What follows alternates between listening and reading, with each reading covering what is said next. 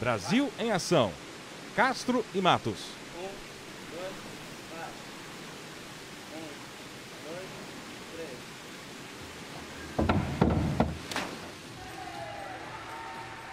grau de dificuldade do salto dos brasileiros era 2.0. Já sai a nota. Brasil vai para a segunda posição, 48.6. Boa notícia, Brasil. Salto de costas, carpado, vamos acompanhar. Movimento, olha só. Carpando o salto e depois os braços.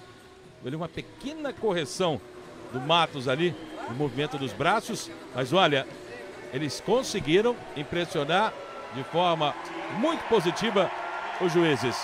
48,60. E agora o Brasil. Vamos todos acompanhar com muita atenção. Faça sua torcida.